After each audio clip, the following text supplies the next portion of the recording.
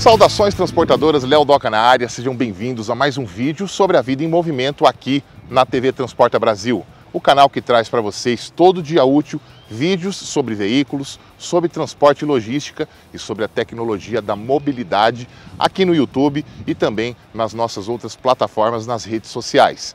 Hoje a gente está com o Atego 3033, caminhão semipesado bitruque que transporta o Brasil de verdade e a gente vai conhecer de perto a operação desse veículo que tem várias funcionalidades, tem suspensor de eixo e você começa o vídeo deixando aquele like que ajuda muito o nosso trabalho. E olha, se você não for inscrito ainda no nosso canal, se inscreve aí, ativa o sininho para receber todas as notificações. Bora lá? O Atego 3033 Euro 6 8x2 da Mercedes-Benz tem peso bruto total de 3.200 kg e está equipado com motor Mercedes-Benz de 6 cilindros e 7,2 litros, que desenvolve uma potência de até 321 cavalos e um torque máximo de 1.250 Nm no intervalo de giros entre 1.200 e 1.600 RPM. Ele tem somente opção de transmissão automatizada que chega com novidades. É a caixa Mercedes-Benz G211 PowerShift Advanced com 12 marchas, que segundo a Mercedes é mais avançada e faz as trocas 40% mais rápido do que as versões anteriores, o que pode ser percebido no teste. A versão testada foi essa aí com pintura verde metalizada da linha AMG, um dos diferenciais da Mercedes, implementada com esse baú Sider que estava carregado com peso de balança, mais de 18.500 kg de carga.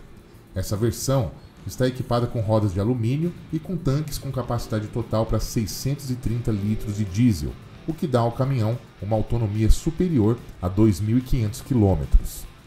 Esse caminhão tem segundo eixo direcional de fábrica e suspensão a ar nos eixos traseiros, para permitir o controle de elevação para o acesso a docas na carga e descarga, e o comando pode ser dado no painel ou por esse controle remoto aí, que é bem fácil de operar.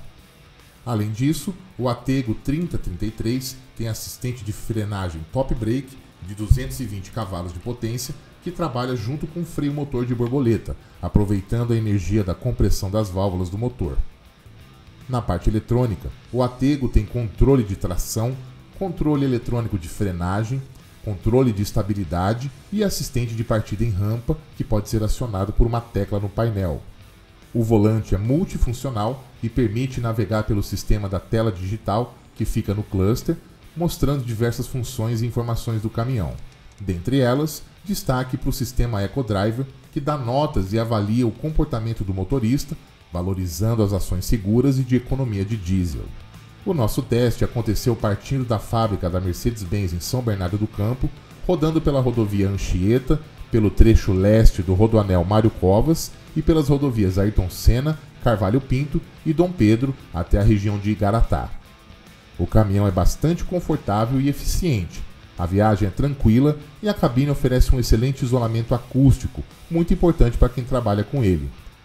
Nós rodamos um total de 220,4 quilômetros durante cerca de 4 horas e 40 minutos, com o motorista especialista da Mercedes, o Reginaldo Prado. Ao final, o caminhão fez uma média de consumo de 4,3 km por litro, um ótimo resultado para uma operação rodoviária com peso de balança. E para quem quer saber o preço desse caminhão, o valor do Atego 3033, de acordo com a Mercedes-Benz, é de R$ 789.800.